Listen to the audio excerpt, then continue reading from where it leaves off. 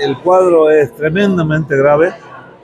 Eh, estamos en medio de una crisis terminal del transporte. Ante la posibilidad de un nuevo aumento en el precio del boleto de colectivos, así analiza AETAT la situación actual del transporte público de pasajeros en la provincia. Lo único que hoy eh, se ve positivamente es un reconocimiento por parte de las autoridades actuales, del gobernador de la provincia principalmente y, de la, y del Consejo Deliberante en este caso que tiene que tratar ahora una adecuación tarifaria. Que se retire el fondo compensador a nivel nacional es una irrazonable, realmente irrazonable. Hoy el costo del transporte es de 1.150 pesos.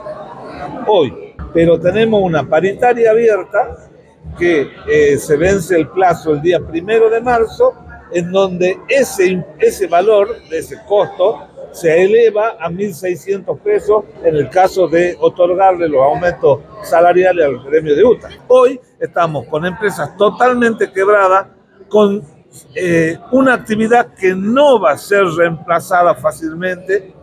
Este, en el país este, no hay inversores que quieran intervenir en esta actividad y, y realmente la vemos como, como muy difícil la situación.